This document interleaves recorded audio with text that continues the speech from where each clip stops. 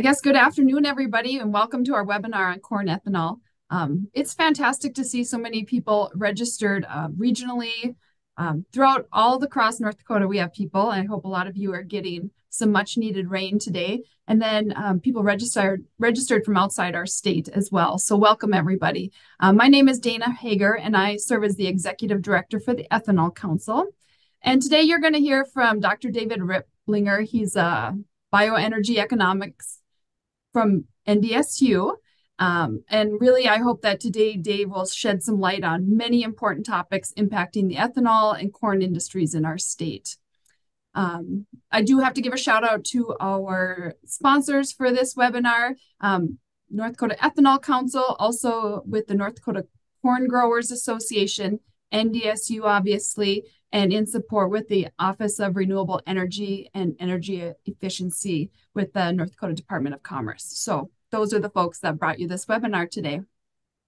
Um, before we dive in, I do want to encourage you to ask questions in the chat or um, in the Q&A portion as well. We are also recording this webinar and we will send a follow-up link um, after the recording.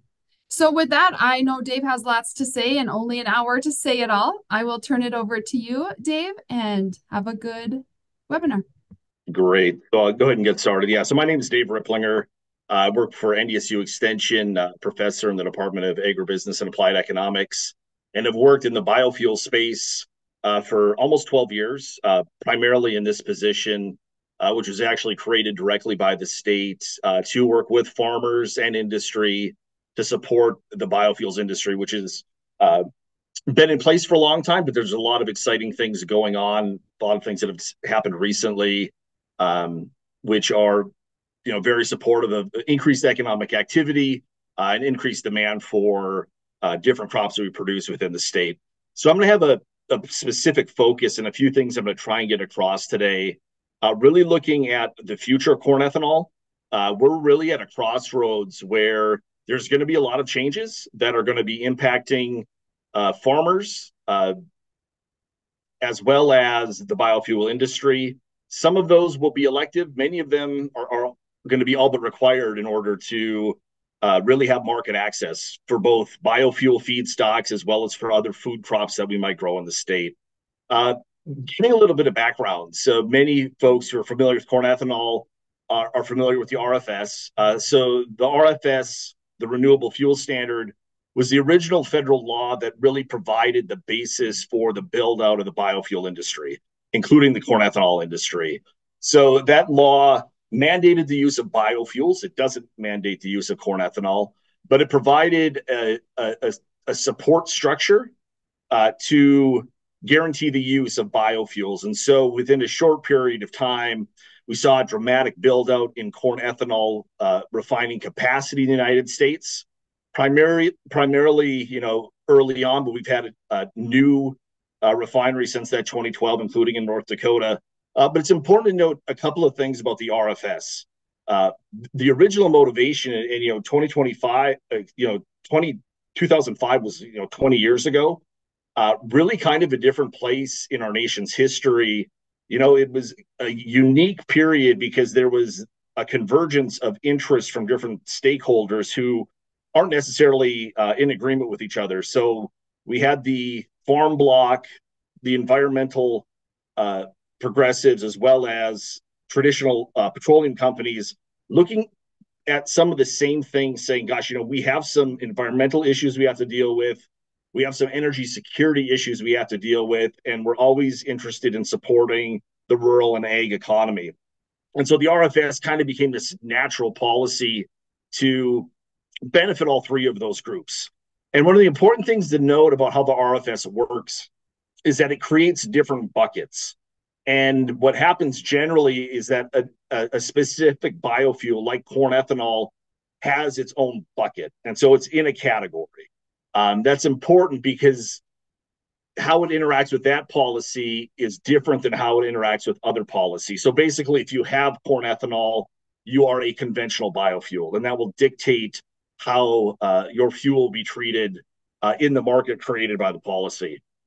Talking again, I get more specific about North Dakota, but what we saw between 2005 and in our case 2014 was uh, six new refineries uh, in the state, uh, dramatic build out in capacity, you know, a little over 500 million gallons of capacity, uh, as well as, you know, corresponding with that, a significant uh, new home for North Dakota produced corn. You know, 160 to 180 million bushels of corn per year. That's about a third of last year's crop, which was, you know, a, a fair sized crop. But again, you know, for for decades, we've always been looking at value added ag in North Dakota, and, and corn ethanol refining has certainly fit that bill. You know, also too, just talking about some of the direct benefits. You know, employs a lot of a lot of folks who are very well paid uh, because they're t- they're they're you know, skilled uh, and and and bring value to the business.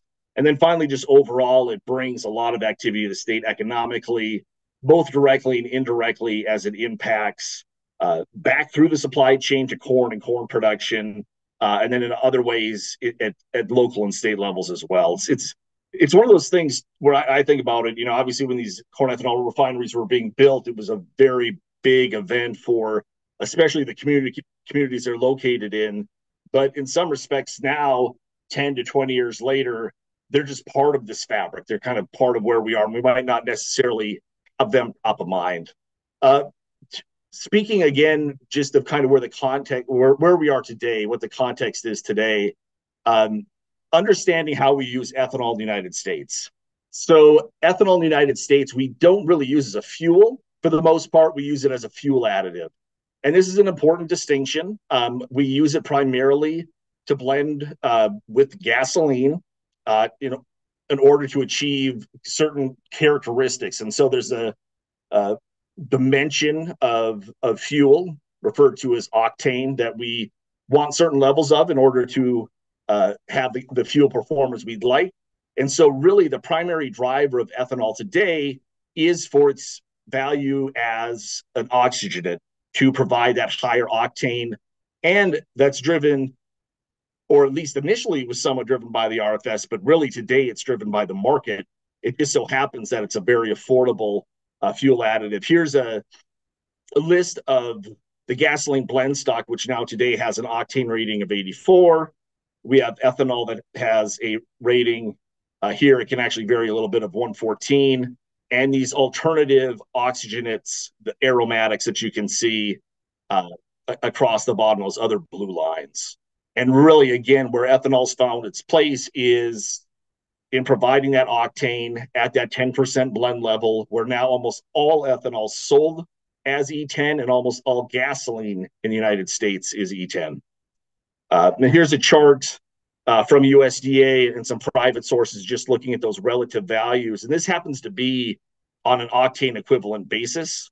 So you can see going back a decade, ethanol is typically the lowest cost source of, of octane. And that's one reason why it's found a spot uh, in the market, at least to date.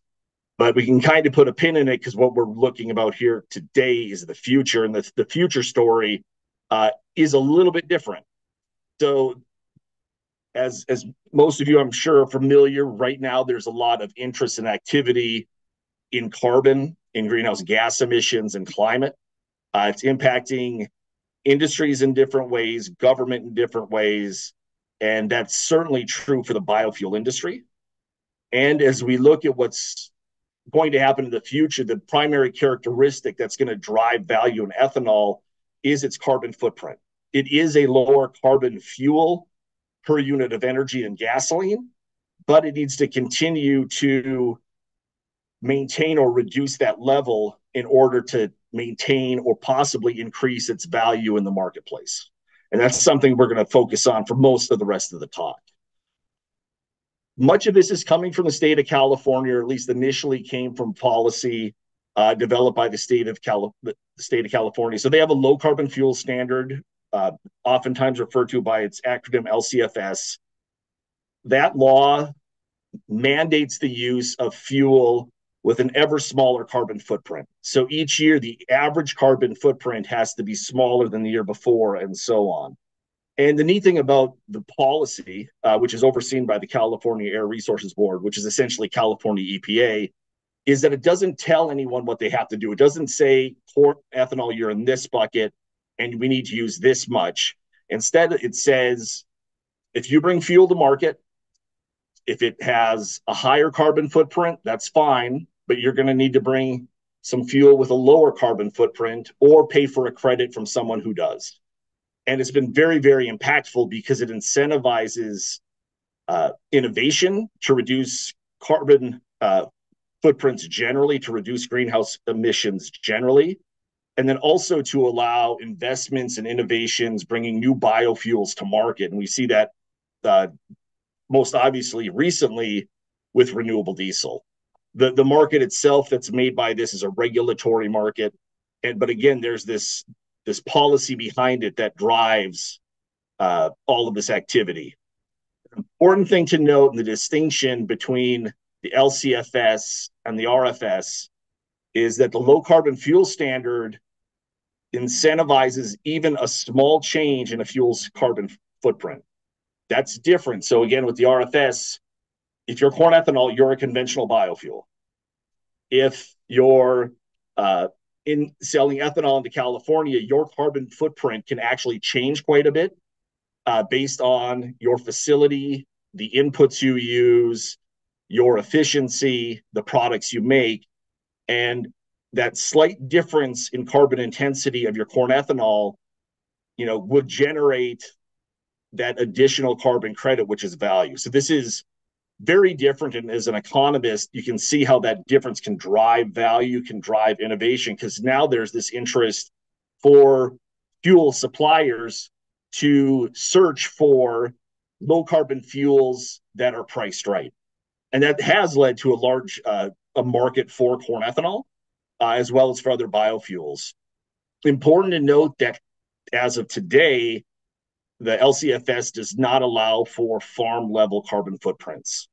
So everyone uh, who's in the corn ethanol business uh, has a refinery in the Midwest uses something called Midwest corn. So everybody's footprint is the same at the farm level, but for refineries it can be different. Again, maybe based on the electricity they use, how much natural gas they use, their yields, and so forth.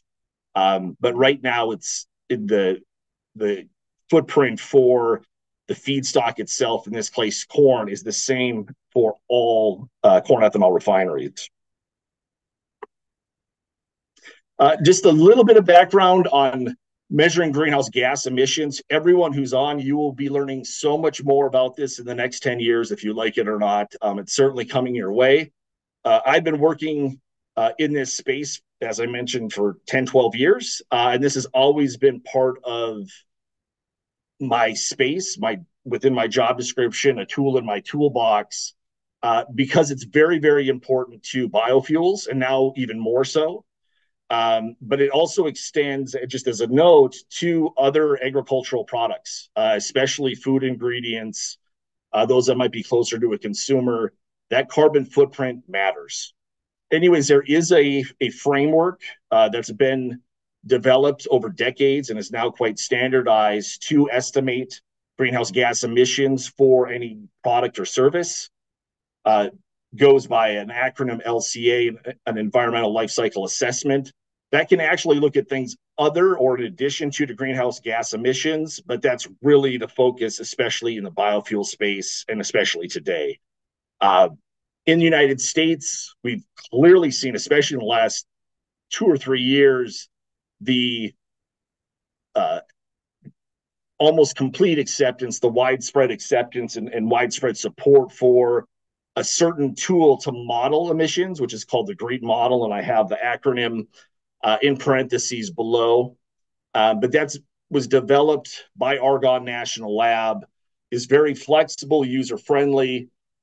10 years ago ish when i first started using it i was probably one of you know maybe a few hundred who uses it. Now there's tens of thousands of folks who are very familiar with this because they recognize understand just how important these greenhouse gas emissions are to the value of their products.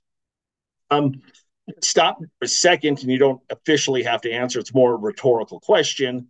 Uh, and i hope that some of you uh, do know the answer but a question what activity or input is the largest single contributor to corn ethanol's carbon footprint?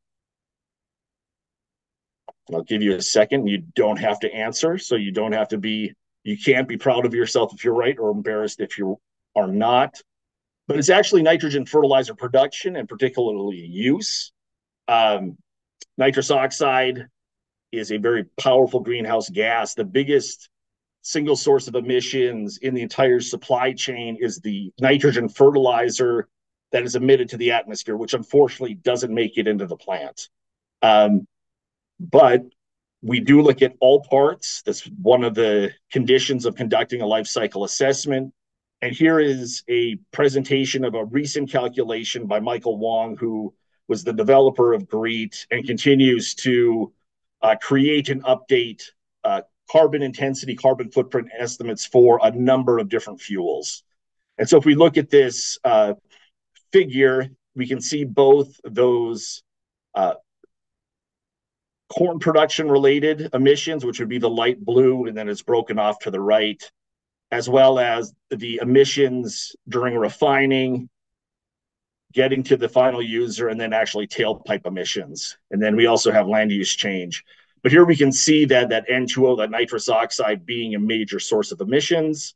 We also have urea fertilizer, which is just an alternative form of uh, nitrogen fertilizer. It happens to be the CO2 that's attached to the, the molecule that's released in the field that is the, the emission there, uh, chemical manufacturing, and so forth. Anyways, the a, a general takeaway for this is that there is a very well developed field to estimate greenhouse gas emissions, especially in biofuels. Uh, there's a number and a growing number of experts uh, in this area. And there's also this companion group of business developers and so forth, businesses, organizations, governments who recognize the potential impacts of decarbonization to the biofuel industry, to agriculture. And much of that is based on the work that comes from conducting an LCA. Uh, here's an example of a an actual, and this might be dated. I, I pulled this this information uh, last fall, but it's the carbon intensity for a North Dakota ethanol refinery. Uh, so Hankinson Renewable Energy uh, is you know in in Hankinson, North Dakota, and so this is from California's Air Resources Board. So they're the regulator, and they oversee uh, pathway applications which provide a significant amount of information for each fuel provider. And they calculate a carbon footprint or carbon intensity for all of the fuels sold in California. So here we can look at the left hand side and see at uh, Hankinson Renewable Energy, they're using Midwest corn because everybody does. It's a dry mill. They produce, and this is their specific carbon intensity for when they're producing dry distiller grains with solubles could be different, would be different if they were wet. They also extract corn oil and syrup. They use natural gas. They use electricity off the grid.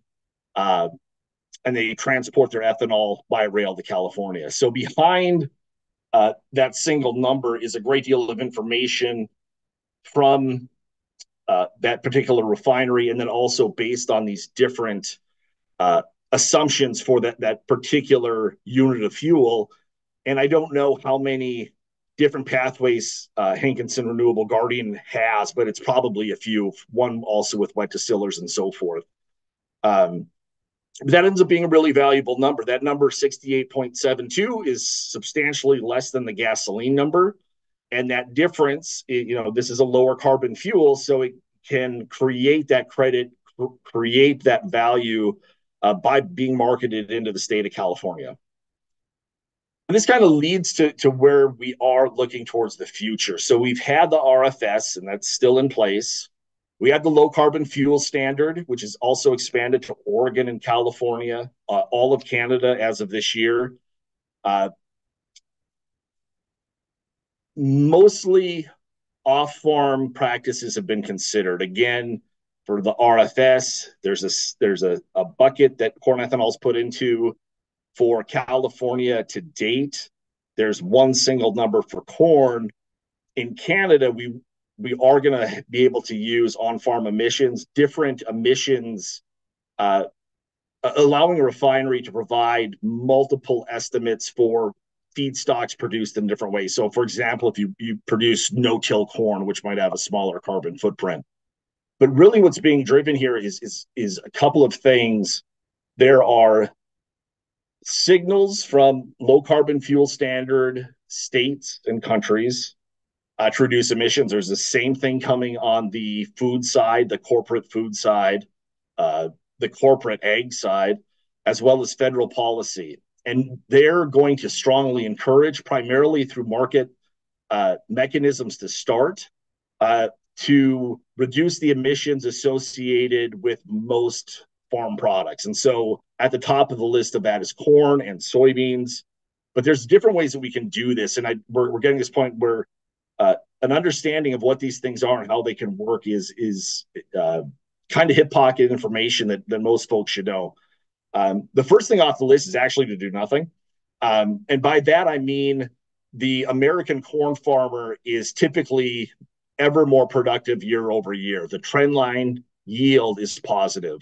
And so simply by trying to be efficient, you know, trying to be profitable, they are going to, you know, use as little input as possible, use it most efficiently as possible, get the most yield out of it as possible, uh, completely ignoring what they might be hearing from uh, other market signals or from the government. There's also more deliberate things that can be done. Um, one of the easiest lists would be to swap or change to a less carbon intense input. The easiest example or most obvious example of this to me today would be using a low carbon nitrogen fertilizer. So these really aren't widely available on the market, but I can make uh, ammonia and other nitrogen fertilizer uh, with hydro. And in fact, actually, we do have quite a bit of that with, with Yara and, and, and Norwegian uh, fertilizer. Uh, we also have production of what's called blue ammonia, blue nitrogen fertilizer, where the, carbon, the CO2 is captured uh, during the production of nitrogen fertilizer and then stored uh, in the geology. Um, and then also we have a green nitrogen fertilizer, which isn't available at, at, commercial scale yet too. But the nice thing about a product like this, as it does come to market, is that it would be a simple swap where I could swap out my traditional ammonia for a lower carbon ammonia. You know, very simple, very straightforward. Um, another thing we can do is is again fo- kind of following under that first heading too, but just increase efficiency. So we have all of this stuff going on with precision ag, uh, with new technology to more efficiently use inputs, and that again reduces that that carbon footprint for corn or whatever crop that's resulting from it. And then finally, we can also have some more significant actions, which would be changing production practices. This may include things like uh, no-till, reduced-till, cover crops, and the like. That is a, a much bigger change uh, for a, a, farming operation, uh, especially relative to just swapping out inputs or adopting some new technology and being more efficient in the use of some inputs. Moving over to the refinery side, we've actually seen a lot of investment and innovation in the U.S. corn ethanol industry in the last decade in response to the low carbon fuel standard. One of the first thing that that happened was uh, a general revisiting of the efficiency of existing corn ethanol plants.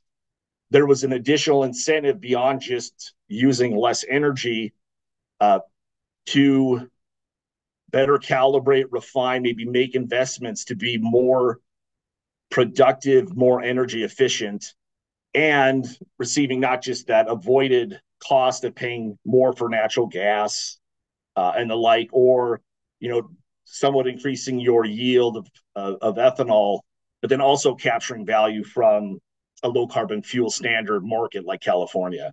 The other one that kind that came closely after that was also this investment of technology to remove corn oil from distillers grains. Uh, and that corn oil typically goes into biofuel production that could be renewable diesel or biodiesel. But that was something that really was driven in large part by the LCFS and has been a, a, a, a very nice additional source of, of revenue uh, for corn ethanol refineries. And then my my my bold little teaser is something much bigger to come. um, and there's there's work on that. But before I talk about that issue, I do want to talk a little bit about the carbon cycle uh, and biogenic emissions. So within uh, the natural environment, we do have carbon cycling in various ways, from the atmosphere to above ground life to carbon in the soil, um, carbon in the water or oceans, and again this natural uh, movement that you know that's been in place for a long time. More recently, with the Industrial Revolution, we've made use of fossil fuels, which have increased uh, emissions, uh, brought more uh, CO2 into the atmosphere, into the system, uh, which is kind of uh, kind of where we sit today. The the the science, the thought behind it is that the increase in greenhouse gases uh, has an impact on the atmosphere. There's a greenhouse gas effect that those additional gases trap energy in the atmosphere. It can lead to changes in not just weather, but actually climate. Um, I'm going to take a brief aside to motivate things.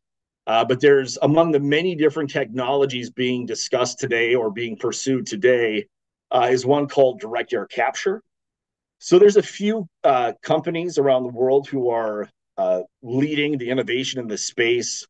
And really, what this does is uses either chemical or mechanical means to uh, separate CO2 from other gases uh, in the air, compress it, uh, move it, and then store it in the geology. So this is this is somewhat akin to uh, carbon capture off of a, a coal-fired power plant, for example. But in this case, the, the the the CO2 is coming directly from the atmosphere. I have a picture of a facility in Iceland uh, where one of the, the leading organizations is. Looking at where it's at today, uh, it's very expensive, about $800 per metric ton of CO2 if not more, depending on, on where you look. The expectation is that by 2030, that number might fall uh, considerably, but still 200 to $300 per metric ton. What's also interesting to note is that this is a very small scale technology, and that a facility that might cost $20 million would only end up removing 4,000 metric tons of CO2 per year, which, if you look at total global emissions, is a drop in the bucket. And so the idea, or what I'm trying to motivate here, is this method alone to try to capture CO2 in the atmosphere would be a multi-trillion dollar effort um, to capture, move, and then store CO2 at a cost of two to three hundred dollars per metric ton, anticipated uh, in about six years. So then here's your second quiz for the day. Um, are there other ways to capture carbon dioxide from the atmosphere? So I did ask this question of some NDSU students about two weeks ago, and they did relatively poorly. I don't think they were necessarily ready to talk during class, uh, but this should be hopefully obvious. And I don't before I tell you, and it will certainly be obvious once I tell you what the answer is. Um, this goes back to elementary school science, but how do we capture CO2. There's your hint. And then, of course, photosynthesis. Um, if you think about what agriculture has done for thousands of years, we've been using our ingenuity to capture energy from the sun and harness CO2 uh, to feed ourselves, to provide different needs that we have, and more recently for fuel and other purposes. And this is important to note because if we think about what happens within corn production and even corn ethanol production, uh, there's a unique opportunity. And this is the idea that the corn plant itself is going to make use of and store atmospheric CO2 within the plant itself, including the grain, the kernel. As that kernel is moved to a corn ethanol refinery, that CO2 ends up being released during fermentation. That's one of the, the co-products of fermentation, CO2. It happens to be very, very pure, um, you know, food grade, industrial grade, ready to go, as opposed to pretty much every other source. So we think about what we've done in terms of innovation and investment and improvement in making use of the natural environment through agriculture, and corn is maybe the best example of that. Then we've also built out this this corn ethanol industry, which produces uh, a significant amount of relatively pure CO2, uh, as opposed to the direct air capture method, which requires a dedicated facility, a dedicated investment, and is far more costly. Um, leads to related questions, and then talk about these carbon dioxide pipeline projects. I first gave or used this slide in early October, and at that time, there were two pipeline projects under development, and within a week, uh, one of those projects had been shelved. Uh, for those of us in North Dakota, we're most familiar with Summit Carbon Solutions and the work that they're doing. Uh, the business model is that a pipeline would be constructed, and that CO2 from corn ethanol refineries would be collected and brought to appropriate geology, in this case, in North Dakota, and then injected, stored in proper geology, uh, to help address climate issues. Um, both of the remaining projects are are facing remain continue to face some challenges uh, with leases, uh, some government permitting, um, but they both are looking at taking advantage of this opportunity that's presented, in part by federal policy, but also in large part by just the nature of agriculture and fermentation alcohol production. Speaking just a little bit about the financial incentives behind this, uh, by capturing and storing CO2 in geology, you'd reduce the carbon footprint of the ethanol. That can be work that, you know, generates credits. Uh, there's also a a tax credit that's been on the books for quite some time called 45Q. Uh, everybody in North Dakota should know what 45Q is, so it's for carbon capture, storage, and use.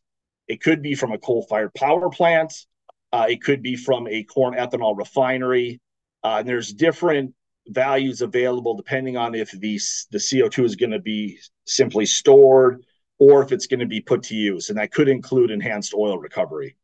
Uh, but substantial sums, again, to drive that investment to address different things that we have. One is just generally innovation and and taking some bigger, bolder, costly steps to address some of the challenges we have, and the other is to deliberately uh, reduce uh, the CO2 that's in the atmosphere. And now we get to the last point, and I, I hope I can emphasize this properly, and this is the idea that both it's policy in a couple of ways, tax policy, um, as well as just regulatory policy in the United States and elsewhere, where now they're really starting again to draw lines. And so the idea is there are thresholds uh, above which you may receive a premium or be able to participate in a program or receive a tax credit, and below you will not. And this is very significant for all parts of the biofuel industry because that premium, being on one side or another of that threshold, will dramatically impact your access to certain markets and the value of your product. And even though we're kind of in the early stages of this, I think the the long-term situation is relatively clear. That biofuels, and I do state it as corn ethanol, is that you're you're gonna end up being segmented into high value and low value markets, high carbon and low carbon uh, products. And so if you happen to be on the right side, have that lower carbon intensity, you will have different opportunities, have access to different uh, uh, tax credits and the like, which could be very, very significant.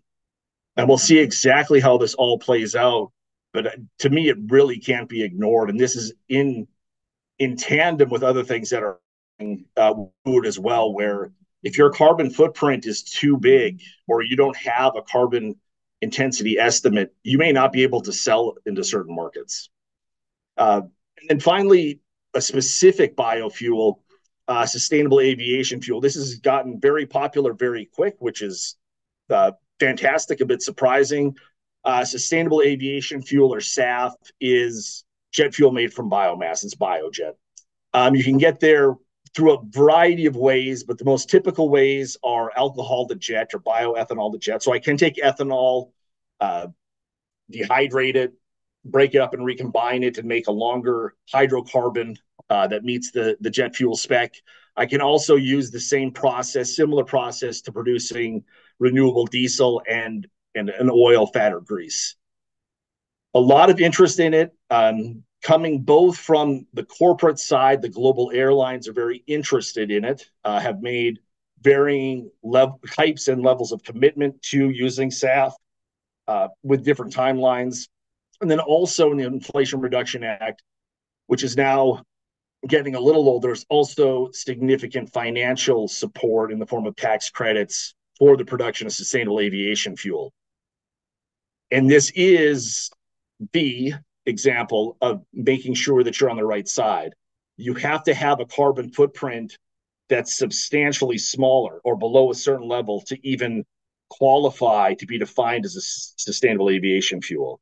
So this could be a case where a corn ethanol refinery might really want to get into the business, but if their carbon footprint is too high, if bringing that to a sustainable aviation fuel product is too high, they won't be able to qualify for those tax credits to have market access and the like. And again, it's you know limiting your your opportunities. This is all somewhat long term, uh, but the things that we see on the horizon. I do have a, a last comment to make, and it's been very interesting being in the business for as long as I have. There has been also a fundamental shift in how the petroleum industry views biofuels. It used to be, and, and very strongly held, that biofuels were a negative because they displaced or took part of the, the gas tank, right? They were displacing refined petroleum products. That's not a desired uh, thing for someone who's in that business. But now the idea is completely shifted. Now biofuels are appreciated because they can lower the carbon footprint of that entire blend and continue to support the competitiveness of the internal combustion engine. So the idea is given the choice between using a, a little bit more biofuel or people using more EVs, they'd much rather use more biofuels. And this is creating a tremendously large market uh, for biofuels, again, primarily renewable diesel. Uh, the other thing I have to bring up too, I get this question a lot, uh, and, and, we're seeing this even more in, in, news, even within recent days. The the the prospects for the internal combustion engine are still quite strong. We are not going to see a massive displacement of light vehicles, cars, and trucks uh, powered with an internal combustion engine. Uh, EIA, which is part of the U.S. Department of Energy, has their projections uh, of sales as well as the size of the fleets. And there might not be growth, but there's certainly not this rapid decline or anything close to a complete replacement of, of the internal combustion engine. And one of the last things I want to bring up, because we do have uh, folks from the corn industry, uh, corn farmers, as well as the biofuel industry and others, I think the adage that businesses don't compete, but supply chains compete is very, very appropriate. Um, obviously, there can be some disagreement, confrontation as, as you might do business with a supplier or a customer. But really, what we're going to see going forward in the biofuel space uh, as well as in the food space, is that as we address this greenhouse gas issue, that working together to find ways to reduce emissions, um, to create value, to share value is going to be absolutely critical to the long-term success of, of these supply chains generally. And so I think that was my uh, last official prepared remark, and I'd be happy to answer any questions and I will stop sharing. Thank you, Dave. I'm going to take a minute and just breathe. That was a lot of information in there. Um, do you want me to read the questions? Can you see them? Why don't you read them? Okay. Um, the first one we're going to go back to when you were talking about the um, the California air and the GREET model. It's is carbon intensity score of ethanol used by CARB generally similar or accepted by other authorities that regulate greenhouse gases, or is GREET used, or does each jurisdiction set its own? Yeah, that's a great question. So, GREET is the standard model um, that is used by many. Uh, the state of California has its own modified version of GREET that they use. Um, other states, the nation of Canada, use other models, not GREET, but they're very, very similar. Um, the estimates should be pretty close, but they're not the same. Um, the one thing I would note too is the state of California has been uh, overseeing the low carbon fuel standard for quite some time. And so they developed a system that's very val- very credible, much appreciated. That is really the model for a lot of new jurisdictions to implement low carbon fuel standards. They're not going to take it uh, in its entirety, um, but it serves as a model. We've seen this in Brazil, and we even see it in conversations in Minnesota, where there's a lot of good work and good thought and experience with California and their LCFS that it's a good starting place for discussion. So there are different models. GREET kind of dominates. There's California GREET. Um, anybody, including myself, I can go in and tweak GREET. Um, if I happen to find it uh, a, a, credible estimate of lower carbon North Dakota corn, I can plug it right in and get a number. That's great. I could I might be able to publish it, but of course, it's the regulator you want to be able to communicate with, you know, to give them those numbers to to allow them to calculate that same lower carbon intensity. Thank you, Dave. This one kind of goes along with that. It says, in addition to California, what other states, countries have this low carbon fuel standard, or are there likely some looking at it? In other words, yeah. will others follow California? Yeah, so great question. So California is clearly at the lead. Uh, it's it's a well developed system, bureaucracy, if you will. Um, both Oregon and Washington State have had low carbon fuel standards for a few years. They're really kind of ramping up. Many provinces in Canada have had, well, British Columbia's had a low carbon fuel standard for quite some time, but many provinces provinces have had their own biofuel policy. Now the entire nation of Canada has what's essentially a low carbon fuel standard. Uh, Brazil uh, has had a low carbon fuel standard closely modeled on California, gosh, for almost a decade. Uh, and then many other nations. And we look at the potential growth. Um, Colorado, Minnesota, Iowa, Illinois, New York State are, are some of those that are viewed as being some of the next adopters of a low carbon fuel standard. It's also important to note, too, that the, the renewable fuel standard, in some respects, has been kind of a, a stagnant policy, and that a lot of the effort to decarbonize transportation has been done by the low carbon fuel standard, specifically California, but now also other states and regions. Um, and, but we'll see exactly how, how it continues to grow. But even just looking at the state of California, California is 10% of the transportation fuel market. So they alone are a big enough market to drive a lot, which we've seen. Uh, they do use a lot of corn ethanol. They also they currently use all of our renewable diesel. Canada is almost the same size market, and their their policy is, is just as bold. So we're going to see a growing in size of these markets in terms of current fuel used. So, can what North Dakota ethanol plants if any, can sell into these low carbon fuel markets? Yeah, so it's actually North Dakota ethanol has been relatively well positioned. We have very good rail access into Canada. So we've marketed a considerable amount of ethanol uh, into British Columbia. Uh, we have uh, a unique fleet of ethanol refineries in the state. Uh, Spiritwood, you know, using waste steam. Uh, from a coal-fired power plant, small carbon footprint. Same thing with Blue, Blue Flint. Uh, we now have both Red Trail and Blue Flint having carbon capture.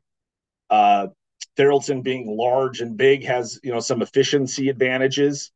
Uh, the idea is, yeah, if, if you have that smaller carbon footprint, you want to get it to those markets, and we've been really fortunate in the state to have uh, refineries who, who who have done that and continue to do that.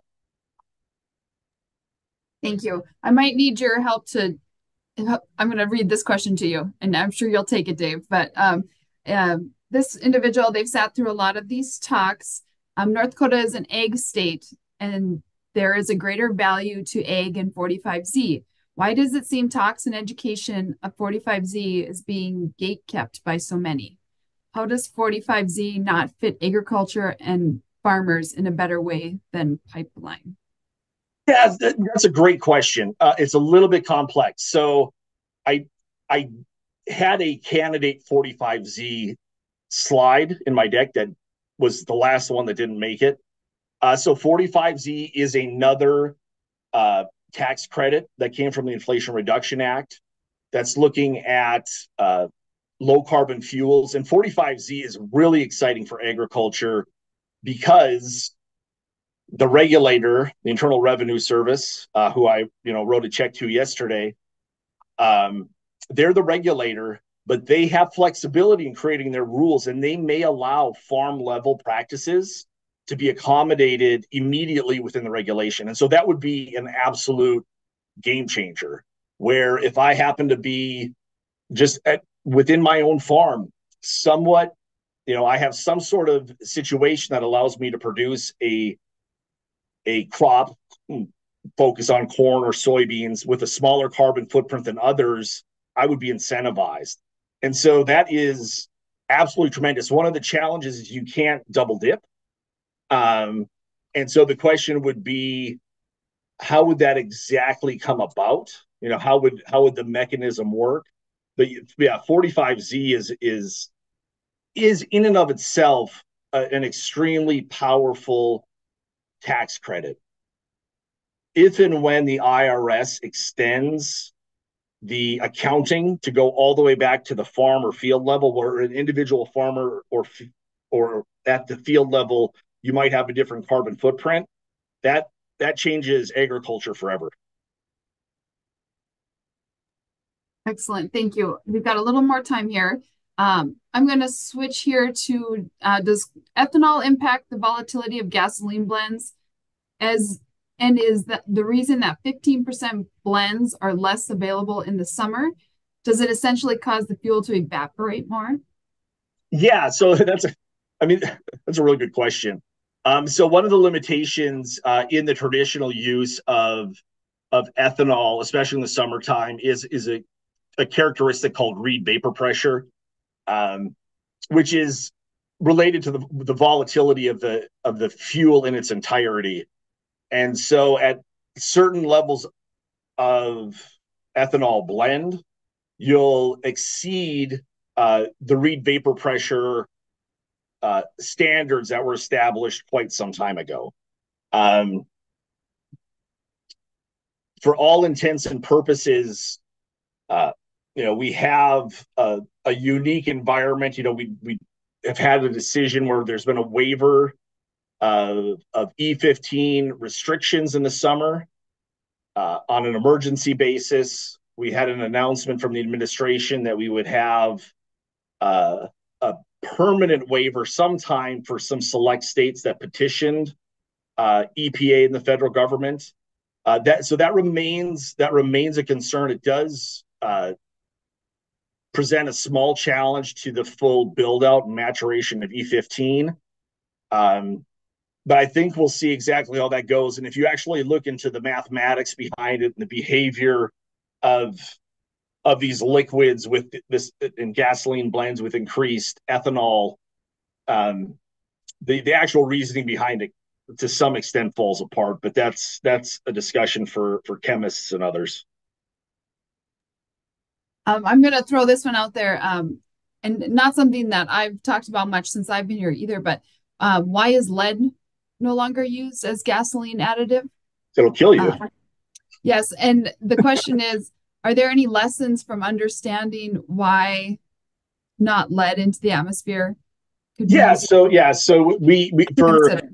decades we used tetraethyl lead uh, to as as our octane source and and and, and lead and this isn't lead the element it's tetraethyl lead uh, is a very harmful substance. Um, and so we did replace that beginning in the 50s ish with a with a, primarily with another oxygenate called MTBE. That worked relatively well, but then we suddenly realized that that leaks of MTBE uh, from tanks into the environment were a, a very negative environmental consequence. And the movement from MTBE to ethanol occurred simultaneously or you know around the same time as the RFS because we had all of these folks who had MTBE in their system and they needed a replacement but what would the replacement be and how can you quickly substitute for this this product um, that has a very large market? And the RFS actually kind of helps solve that. You can still use you know other aromatics MTBE in certain cases uh, but we've seen this continual transition and also if, if you want to go into the history of it it is quite interesting. You know, the, folks who ended up researching and supporting the use of tetraethyl lead were fully familiar with its harmful effects and also fully familiar with ethanol, but it was a way to use a product from their industry, which you know provides that additional incentive internally. I know we're not going to be able to get to everybody's. We do have somebody who wants a little bit more information on the tax credit, the 45Z. Um, basically, I've never heard of it. Can you give a little oh. bit more background on it? Yeah, yeah. So great question, and I'll I'll give as much as I can. Um, so 45Z is, I believe, it's called the Clean Fuels Production Tax Credit. It replaces the previous biodiesel production credit. Um, and what it does, it also says that you have to exceed a certain value, and then we'll pay you incrementally, uh, you know, for reducing the carbon footprint. And this is great. This is kind of what everybody wants. It has this threshold, which is not ideal, but it basically says you got to do something new, um, maybe something innovative, or make a big investment uh, to access the credit. Um, and then within it, you know, it's it's because like the LCFS, it provides that incremental incentive you know that ends up being a message through prices you know all around the markets that are touched. And then the question is with I, the irs as the regulator will the irs allow individual farms or maybe the refiner to say i get my corn from these types of producers 20% of my corn comes from no-till and 20% of my corn comes from this type of production practice.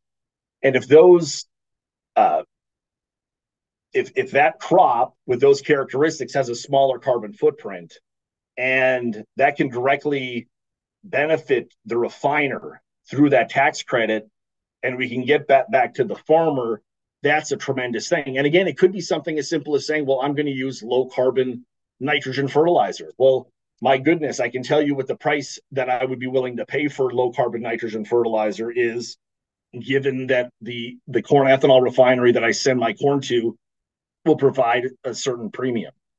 Uh, really exciting. Um, I, am happy to I'm happy to visit more. Um, but it's it, it it was one of the additions that and every the Inflation Reduction Act had so many different legs that were pro energy in different ways. Uh, and, and 45Z ends up being very significant, uh, as as mentioned in the question previous, having you know potentially immediate, significant positive impacts on agriculture, on production agriculture. Um, there's a part of a question here. We've got a couple minutes left. Um, so are ethanol plants focused on the farmer practices yet? Yeah. So yes. So there's there's a lot of interest, and it's it, it's a challenge because first of all, there's a typically a very strong relationship between a refiner and their their corn farmers and vice versa. Uh, there's a within corn, the corn ethanol industry, there's a very strong understanding of current and evolving emerging opportunities.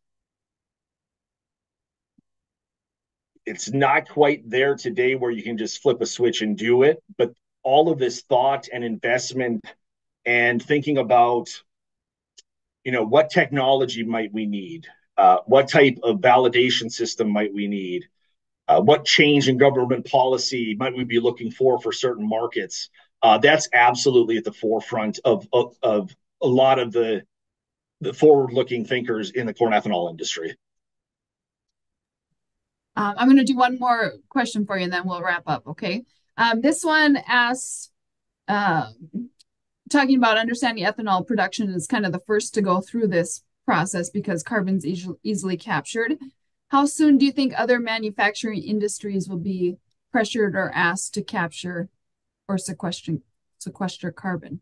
Yeah, so I mean, we know that. So if you think about it, the big question is how does any given government or industry deal with emissions? And the truth is, we don't have a uniform national policy for greenhouse gas emissions.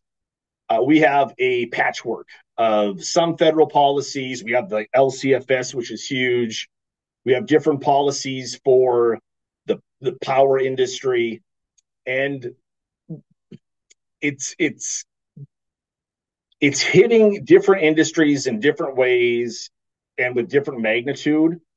But you know those industries that reduce that release significant amounts of greenhouse gas are all very familiar with this. If it's uh, steam methane reforming for uh, for ammonia production um, if it's concrete production and liming uh, everybody's got this on their list. And then it's also this issue is like how how much do we want to do? Well, certainly we'll do our homework and we'll look for clues, but how much do we want to do before there are incentives or regulations that might dictate what we have to do? But you know, basically, this has become a, a very important issue for for many industries. Okay, thank you. That brings us right to the top of the hour, and I promised Dave to get him back to his real life right at one o'clock.